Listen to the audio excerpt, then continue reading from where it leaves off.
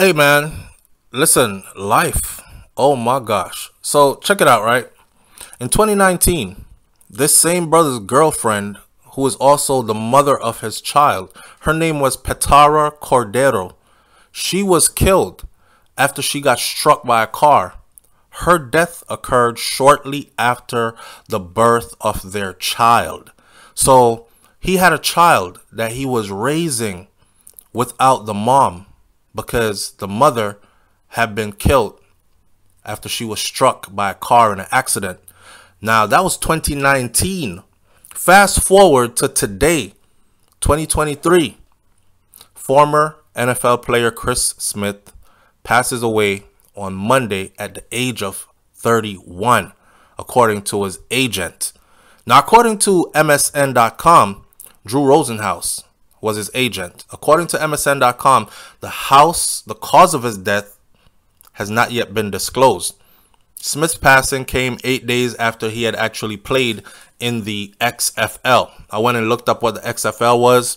The XFL is actually a minor league compared to the NFL, which is major league. So it's still football, and they still make good money playing in the minor league. He played in the NFL major league for quite some time before stepping down to the minor leagues. And he was pretty young as well. So the report says his death comes eight days after he played in the XFL game for the Seattle Sea Dragons. Not only was the defensive end on the field for Seattle's 34 to 33 loss on April 9th to the DC Defenders, but he had two tackles in that same game. Smith has been in the XFL since he signed a deal with the Sea Dragons on March 9th of this year.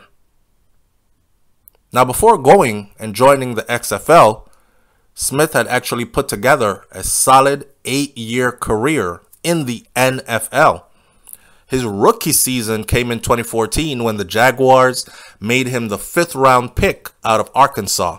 Now, during his first year with the Jags, Smith was able to rack up three sacks, even though he only played in seven games. Hmm.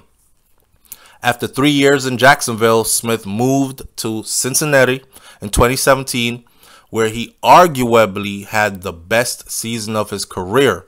During his one year with the Bengals, Smith tied his career high with three sacks while also tallying a career high 26 tackles. Over the course of his career, Smith went also spending time with the Broncos from 2018 to 2019. Then he played with the Raiders from 2020 and then he played with the Texans 2021. Overall, he appeared in 72 games over eight season or eight years in the NFL before stepping down to the minor leagues. Many of Smith's former teammates offered their condolences on Twitter and on other social media networks, you know, just saying, damn. So the Browns also released a statement and it said that we're deeply saddened by the passing of our former Browns DE Chris Smith. Chris was one of the kindest people, kindest teammates, kindest friend that we've ever had in our organization. Our thoughts and our prayers are with him and are with his family during this difficult time. Now, Smith's death follows, like I said before, the tragic death of his girlfriend, who was also the mother of their child. Now, while he was playing for the Broncos, or sorry, while he was playing for the Browns, she lost her life when she was hit by a car. Smith himself had actually pulled over on the side of the road because they had blown out a tire. And a car came from out of nowhere and hit the car on the side that she was on and she passed away. We don't know what the cause is. We don't know what the cause is for her passing or for his passing. We don't know if it's suicide. We don't know. All we know is he's no longer here.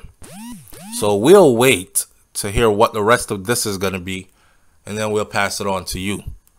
31, that's young. I hope it's not suicide. But that's a lot to stomach because he's probably thinking maybe I should have pulled over in a more secured place, blaming himself for his daughter being here with no mom, the pressures of being a football player and a full time dad. I hope that wasn't what really happened. Stay tuned. Go ahead and hit that subscribe button and click the bell next to the subscribe button so when I update these stories, you're notified. And I'll catch you on the next video. I'm out. Peace.